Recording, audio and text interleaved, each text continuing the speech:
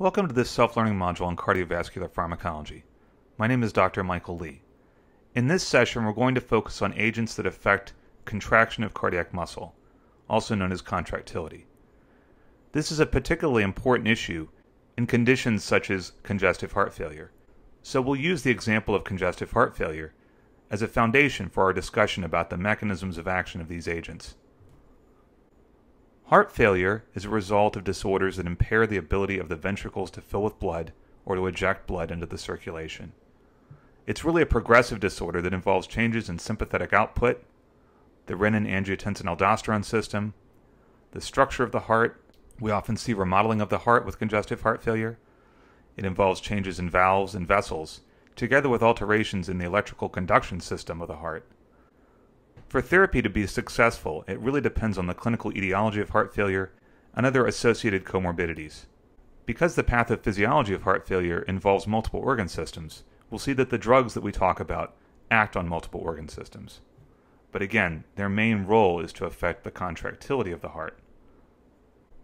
Just a couple more words about heart failure.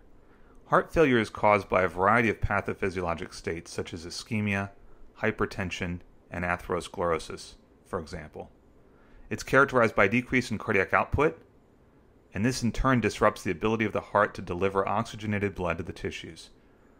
This situation is compounded by well meaning compensatory mechanisms that are triggered by the body, including fluid and salt retention, changes in heart size, as I mentioned a moment ago, remodeling, also known as hypertrophy, and increased sympathetic signaling to the heart, However, over time, these compensatory mechanisms lead to a worsening of cardiac output and ultimately to myocyte death. Therefore, the therapeutic efforts to help these patients are focused on increasing contractility and stroke volume, decreasing preload, decreasing afterload, lowering blood volume and sodium retention, and stopping the cardiac remodeling process. And I just want to take a second to define preload and afterload. These are new terms that you probably haven't heard yet. Preload is a diastolic filling pressure and it's a function of blood volume and venous tone, whereas afterload is determined by arterial blood pressure and large artery surfaces. The drugs that are used to control contractility and manage heart failure come from many different classes. For example, we see the cardiac glycosides that include digoxin, beta 1 receptor agonists, including dopamine and dobutamine, phosphodiesterase inhibitors that include milrinone and inamrinone, ACE inhibitors that include enalapril and captopril, angiotensin receptor blockers that include candesartan and losartan, diuretics such as the loop diuretics like furosemide, or potassium-sparing diuretics such as spironolactone, and vasodilators that include a variety of agents such as isosorbide dinitrate, nitroprusside, nitroglycerin, hydralazine, prazosin, and carvedilol. We'll discuss ACE inhibitors ARBs, diuretics, and vasodilators in more depth in later sessions. So our first class of agents that we want to discuss are the cardiac glycosides. Our prototype is digoxin. Digoxin has actions at the sodium-potassium ATPase on cardiac myocytes. It inhibits this sodium-potassium ATPase, and this leads to a transient increase in intracellular sodium levels. This in turn decreases calcium efflux via the sodium-calcium exchanger, which in turn results in increased contractility, which is also known as a positive inotropic effect. Digoxin also has actions on the electrical properties of the heart. It increases parasympathetic or vagal tone and decreases sympathetic activity in the heart. This leads to suppression of AV node conduction, which in turn increases the refractory period, decreases conduction velocity, and decreases heart rate. So when taken together, digoxin is a useful agent for management of heart failure it reduces symptoms, it increases exercise tolerance in patients, and it reduces hospitalizations. But importantly, it does not actually prolong life. So let's look a little bit more specifically at the mechanism of action of digoxin. As I mentioned, digoxin selectively inhibits the sodium potassium ATPase pump. This leads to increased intracellular levels of sodium. This in turn inhibits the sodium calcium transporter which relies on sodium gradients to function. Inhibition of the sodium calcium transporter leads to increased levels of intracellular calcium, which in turn leads to increased uptake by the sarcoplasmic reticulum via the SERCA pump. and it also leads to increased amounts of calcium at contractile elements. The bottom line is that all of these events lead to increased calcium levels inside the cell and increased contraction of myosin filaments. This is how digoxin increases contractility. And I want to take a second to point out the L-type calcium channel that's playing a central role in this process. We'll talk about calcium channel blockers that affect this channel in another session. So as I mentioned, digoxin also has effects on the electrical properties of the heart. So let's look a little bit more closely at that. Let's compare the action potential of a ventricular myocyte, either untreated or treated with digoxin. Digoxin does two principal things to ventricular myocytes to alter their electrical properties and alter the action potential. The first is that it changes the ERP and the AP. And what are those? The effective refractory period and the action potential duration. And we can see that here in these curves. If we compare the digoxin treated to the control, we see that the action potential duration and effective refractory period are decreased.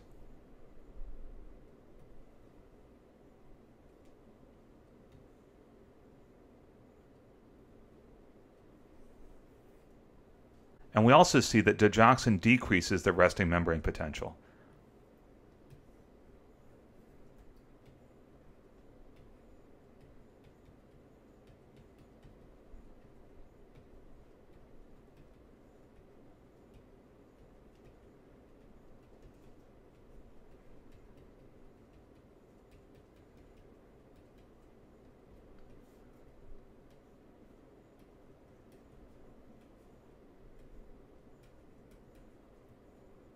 We'll go into these actions a little bit more in depth later on in the year in mechanisms of disease. Ultimately, these actions on electrical properties of ventricular myocytes affect the ECG. On the right hand side, we see an ECG in a patient that's been administered digoxin. There are some important changes that occur here that are a direct manifestation of what we just witnessed with the ventricular myocyte action potential. First, we see a change in the PR interval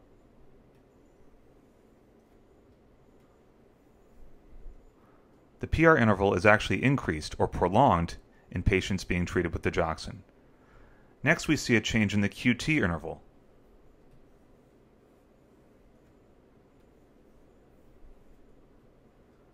The QT interval is actually shortened in patients being treated with digoxin. And then finally, we see what's called an inversion of the T wave.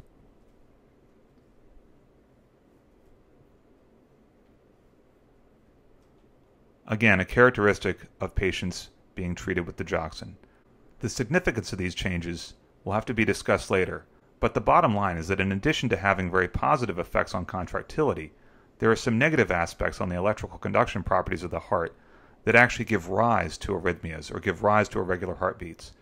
And that's actually an adverse effect that we see with digoxin.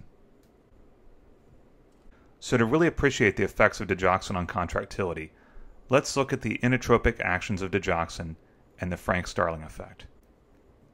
By enhancing contractility, digoxin actually increases the cardiac output for a given end diastolic pressure.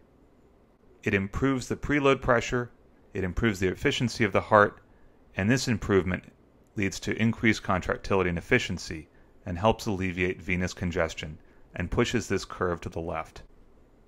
So digoxin actually helps make the heart work more efficiently.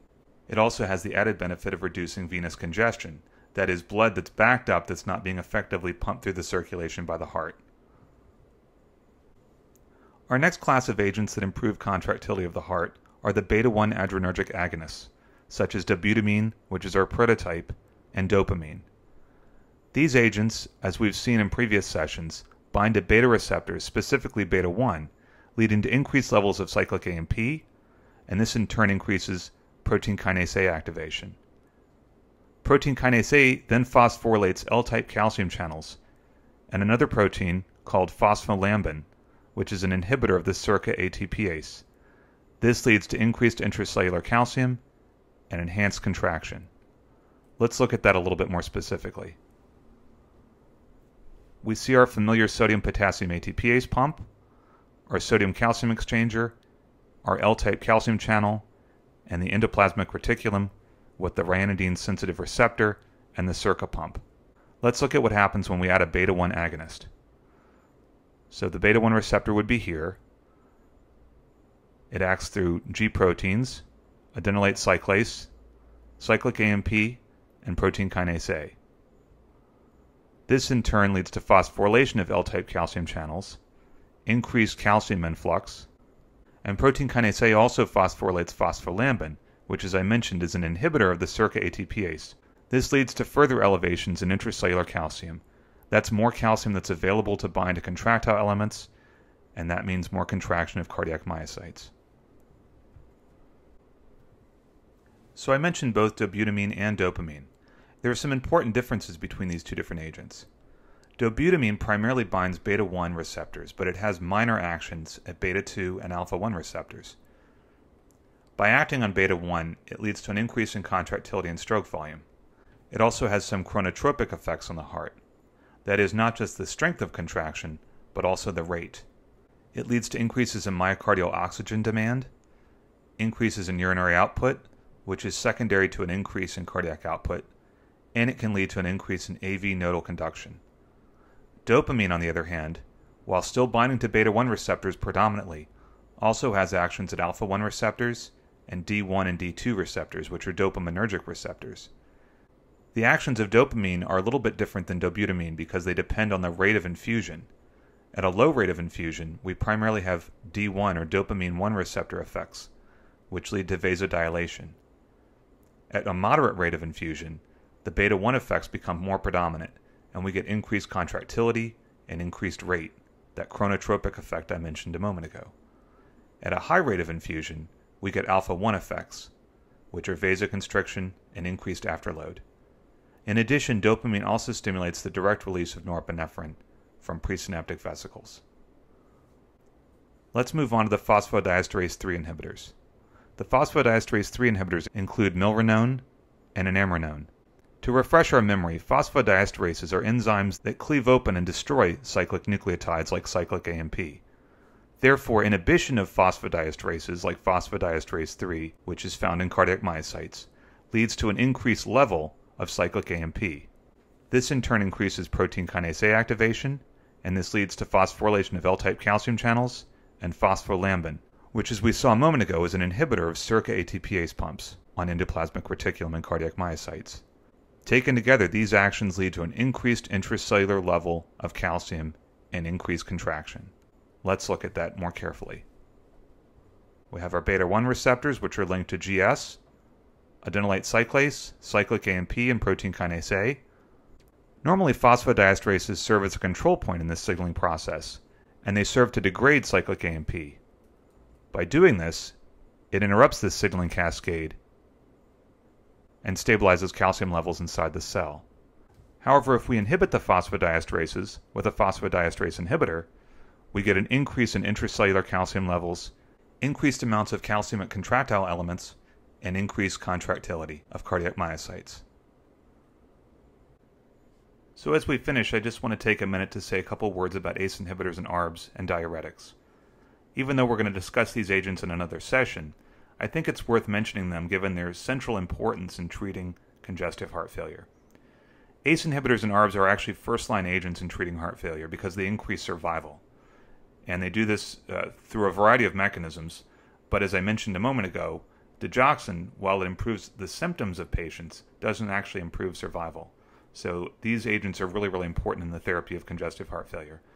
They decrease afterload and they promote vasodilation. They reduce left sided hypertrophy and remodeling, and they're often frequently combined with digoxin or a diuretic. The diuretics, on the other hand, lower left ventricular filling pressure and volume by decreasing preload. They lower myocardial oxygen demand, and they help reduce pulmonary edema in acute heart failure. So those effects can actually be visualized here in a similar graph to what we looked at before, comparing stroke volume to left ventricular filling pressure. So we see a normal curve here, we see a curve for untreated heart failure, the curve for a patient with heart failure that's been treated with an ACE inhibitor, and it actually moves the curve up and over to the left. Inclusion of a diuretic also improves patients with heart failure by helping to move the curve over to the left.